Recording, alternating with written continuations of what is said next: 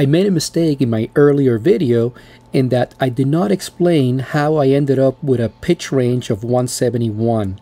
Uh, I had the pitch range, I think, uh, or initially set up at 165.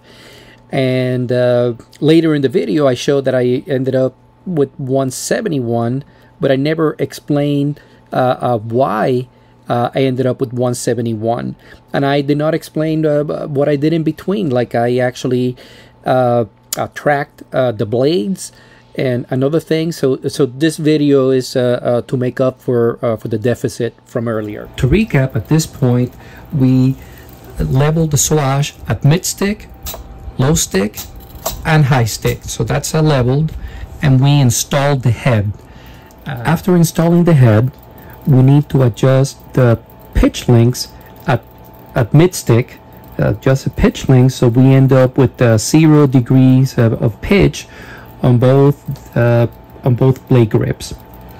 And not only will that get us the uh, zero degrees of mid pitch uh, mid stick that we want but also uh, that would also uh, the blades. We want to go into the servo tab and click on the sub subtrim tuning box.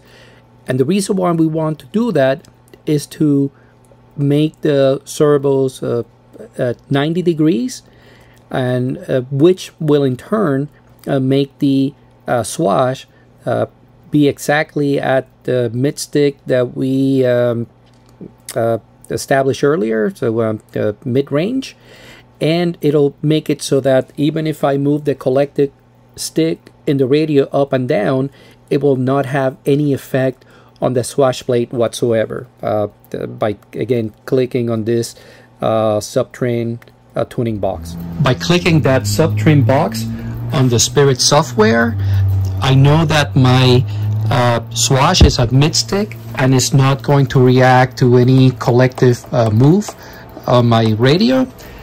And the next step here is to get the head uh, rotated so that it ends up uh, parallel to the boom. Right. All you can do here is eyeball it and this is as good as that's going to get. At this point, I'm going to use uh, my pitch gauge. I generally use this uh, RC Logger pitch gauge, but I, I know they don't make this anymore. Uh, and for purposes of the video, uh, this one is actually better just because it, it's lit. So I'm going to turn this off and we, are going to be using this angled cube. and You can get this at Amazon. It, it, works perfectly, but I just prefer the other one because it's smaller and lighter. But again, see how with the light here makes it easier. And I'm going to use the uh, motor can as my uh, zero reference you know so uh, right now my, my, my table may, may not be exactly uh, uh completely leveled and of course you know the, the, the skids in the helicopter uh, they always uh, um, have a little bit of a play so you never know what the what zero degrees really is uh, oh, another thing that I do here is like I put uh, a tape on the skids just so that the, the helicopter does, doesn't uh, move much uh, once I start this process because then it'll, it'll, mess up the measurements. But uh, going back to uh, using the pitch gauge and using the motor can or top of the motor can as, a, as my zero reference, I'm just going to zero the pitch gauge. And you know that so that's zero right now. So my pitch gauge is zero degrees on top of the motor can after zeroing it out. And then I'll pay, place this pitch gauge up here in the blade grip and it's zero okay? So that's uh that's good. Then I'm going to get the other uh, and if I if I needed to adjust something I would be adjusting the uh, pitch link up here to move the arm up or down to get the zero degrees that the that we established all right? And then um, I'll do the same for uh, this other blade grip and I'm using different colors so that I keep the, the blade grips uh, uh, uh, in check so otherwise I get confused with which one is which. But uh, uh, this I would adjust this, this pitch link for this other blade grip that I have a, a, a green holder on. So right now we're pretty the um, the head is parallel parallel to the boom and I'll place this up here and it's reading zero degrees. So so we're good. So not only are we at zero degrees but we know the, uh, the blade grips at, at mid uh, stick uh, uh with the uh, swash at mid travel. But uh, both blade grips should be also tracked because they're, they, again they're both uh, zero degrees on the same uh, plane. I mean, it's not my favorite pitch gauge, but you get the idea. This should be pretty uh, um, tracked. Now that both blade grips have a zero pitch at mid stick, I'm going to uh, determine the uh, collective uh, range. Uh, so I want the collective range of about positive 12 and a half at high stick and negative 12 and a half degrees at low stick. Um, so I, I, have the uh, head parallel to the boom. I'm going to put my uh, other pitch gauge here. This one is a little easier for what I want to do. I'm going to turn it on. Uh, it's reading negative, uh, one degree. That's fine. I'm going to zero it. And I like this one has a three second delay and we are zeroed here. Now that I am ready to adjust the collective range of high and low stick of the helicopter, I need to untick the subtrim box. So this will allow the uh, radio to use the uh, collective uh, stick. Um, and then after this, we will go into the uh, limits tab. And here's where we adjust the pitch range either up or down. Trim on the computer and this will allow me to go into the uh, high uh, stick uh, reading and here I'm getting only uh, 12.3 degrees uh, so that that's easy. So I'll go on the computer.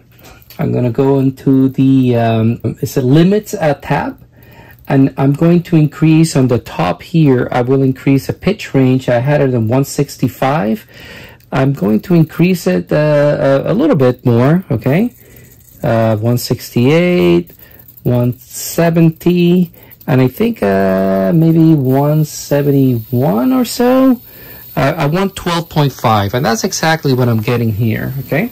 So now I'm going to go into a low stick, okay? And I want to get the same, but guess what? Now I'm getting a, a 12.8, so that means that I need to um, uh, fiddle with the computer a little bit, and I'll uh, I will get back on that. So how do I correct that? So I go back to the uh, servos tab. I go into the uh, setup, uh, uh the setup.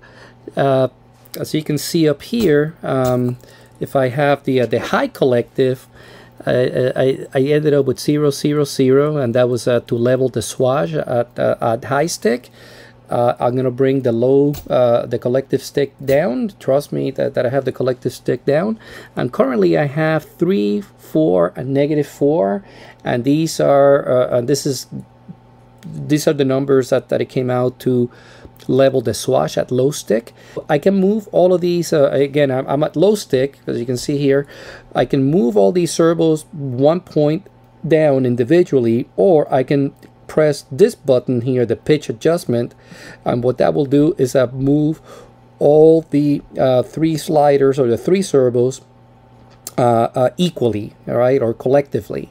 Uh, so here, uh, I also have three, four, negative four. So I'm going to bring just one slider down so that I end up with the one number down, which we here would be two, three, and negative five. So let's see if that works. Two, 2, 3, and negative 5. I just brought the slider down 1. And uh, maybe I'll bring it down one more. So I end up with 1, 2, and negative 4. Let's see if that uh, does it. Whoops.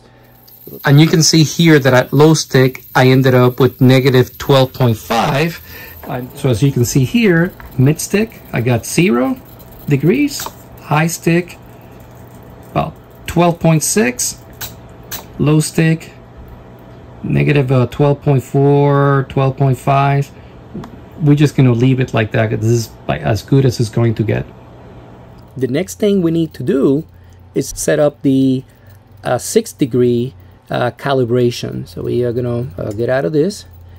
I believe we go into the advanced menu and we are going to set up this uh, 6 degree uh, tuning geometry. So I have the swash at mid stick right now the uh, pitch gauge is reading zero degrees as it should and we're going to perform the uh, geometry six degree uh, calibration for the spirit. So this is probably best done in picture in picture or picture in picture. Uh, so I'm going to click on this uh, box with the geometry uh, six degrees. And as you can see here, my pitch gauge is reading 6.8, but I actually want 6.0. Uh, so what I'm going to do here on the computer is I'm going to bring this 128 value down, all right, 26, 25, and see as I bring this uh, value down, you should see the pitch gauge is coming uh, down as well.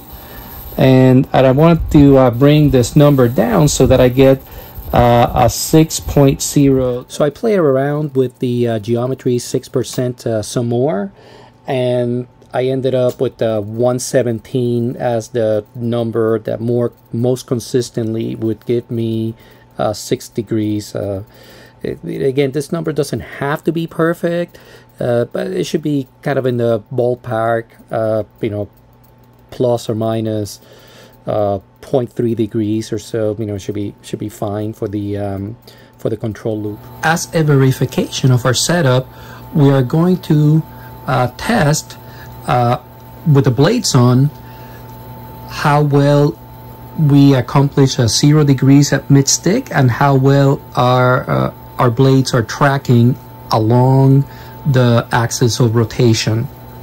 So we first need to uh, take the sub trim tuning uh, box which is again located in the servos uh, tab and that makes sure that the uh, swash is at exactly at mid stick and the blades are at zero pitch as we um, adjust the, blade pitch links earlier.